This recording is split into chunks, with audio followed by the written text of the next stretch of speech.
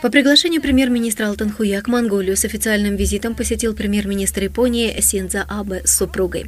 Япония, считающаяся третьим соседом степной страны, оказывает постоянную экономическую поддержку монгольскому народу. По мнению руководителей двух государств, встреча премьеров послужит дальнейшему укреплению отношений двух сторон и выведению экономической связи на новый уровень.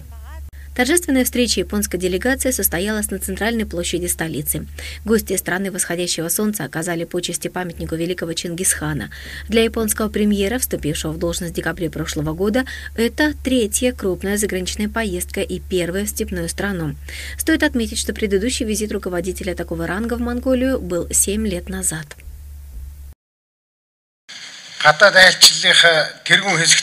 Я хочу выразить благодарность премьер-министру, что он в рамках официального визита одной из первых посетил нашу страну.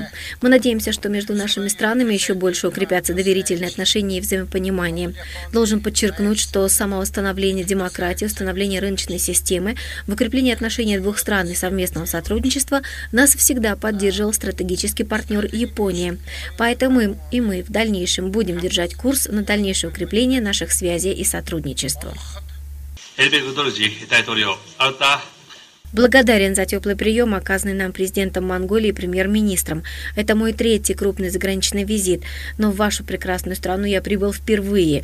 Уверен, что наше общение принесет пользу, и по итогам этого визита взаимоотношения и экономическое сотрудничество двух стран выйдут на высочайший уровень. Наша цель на ближайшее будущее – это интенсивные переговоры двух сторон. Синзо Абе выразил готовность сотрудничать с монгольской стороной на основе принципов демократии, мира и взаимной помощи. Во время встречи обе стороны также заявили, что будут поддерживать позиции друг друга на международной арене. В рамках расширения экономического сотрудничества двух стран предусматриваются работы по защите окружающей среды, подготовка профессиональных кадров, строительство нового аэропорта, нефтеперерабатывающего завода в Дархане. Также в рамках экономического сотрудничества японская сторона готова предоставить льготный кредит на сумму 2 миллиарда йен. Планируется Планируется, что эта сумма может пойти на переоборудование ТЭЦ-4 и строительство диагностического центра. Долгарсурен Энгбилек, Аист, Монголия.